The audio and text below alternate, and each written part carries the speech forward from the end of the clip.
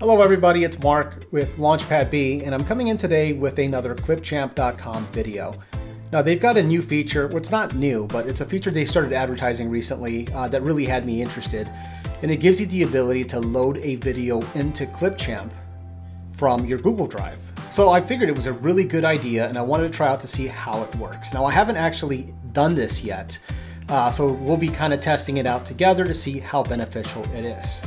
Now I will begin by saying that I typically don't use Google Drive as a way to get files to myself. When I use Google Drive, it's to deliver a finished video to a client. I basically put it in a folder and they can download it. You know, picking up one or two files off of Google Drive is not a big deal, uh, but if you're trying to batch download a bunch of files at one time, it tends to be very cumbersome.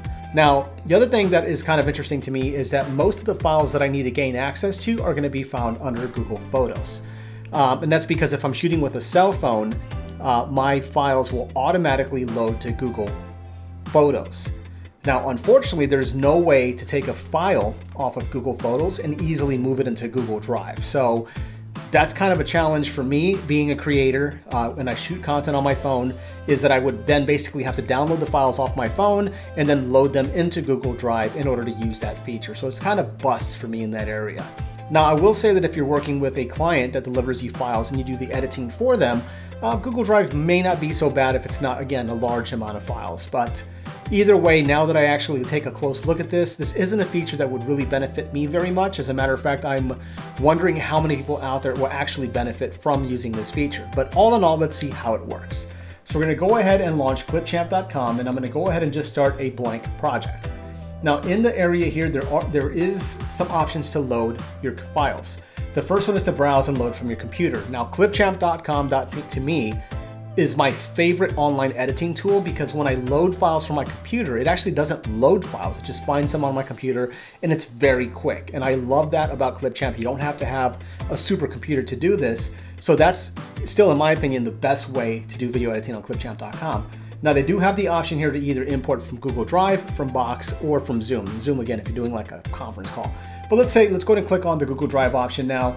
Now the first time you click on this, it's gonna ask you about which Google account you wanna link, you give it permission, and then it'll give you access. I've already done that.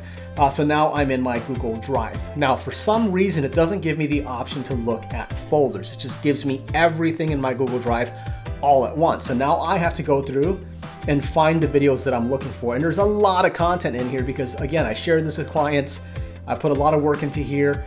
Um, so unfortunately, I wish that there was a way for me to identify where the files were at. I'd have to know what the file name is. Uh, fortunately, I know what I'm looking for. So I'm gonna go ahead and select the files that I want and it's gonna be this Peghook uh, project. So let's see, I wonder if I can select multiple at once. I'm gonna start here and I'm gonna go to here. I'm gonna hold down the shift button and select. So let's see how long it takes to import that. Now, when you're working from a computer, it tends to be very quick. And it looks like from this standpoint, it's also working pretty quick as well. Uh, if you do them one at a time, it's probably a lot faster than doing a batch select. So let's go ahead and let this thing run. Okay, so about two minutes have elapsed now, and all of the videos are now officially showing up on Clipchamp, which is pretty quick. This is actually about 20 gigabytes worth of video that I've loaded to Google Drive. Now, when I loaded this footage to Google Drive, it actually took about 40 minutes for it to upload on my super fast internet connection to Google Drive for me to do this demonstration for you. So I am impressed on how fast I was able to import these files into Clipchamp.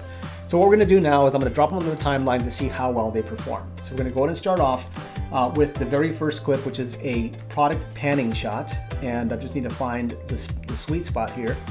Uh, and it looks like we are getting a little bit of lag for some reason um, on the timeline here. So not ideal, uh, but it's still workable. Let's go ahead and get this set up. I'm gonna go ahead and cue this to a spot I like. All right, we want the product to kind of spin a little bit. Yeah, there is some stuttering happening here and some some things I don't like, but it is still working. It's as if I was working with a machine that was maybe had a slow processor on it and I was trying to do video editing on it and not supposed to be doing that. Uh, so now I'm gonna go ahead and introduce another product panning shot and let's see if we can get this to work smoothly. Split there. So now we're gonna use a couple of product shots um, of this product being used.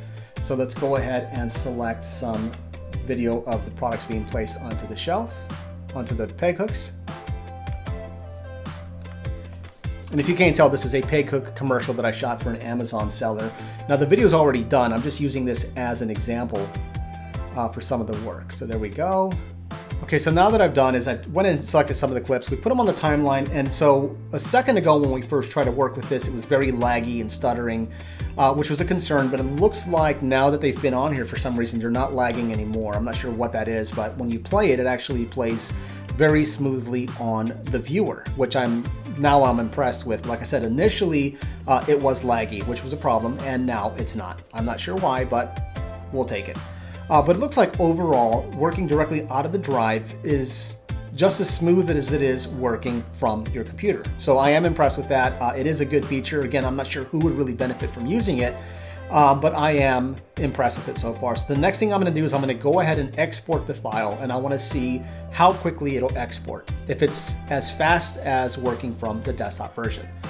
So I'm gonna select export on the top right and I'm gonna go with the 480 because that's what's free. I'm working with the free version right now and we're gonna go ahead and do that. So now we're gonna look at the clock. So the edit speed is extremely fast. Um, it's actually faster than if I was working from my computer, which is really cool.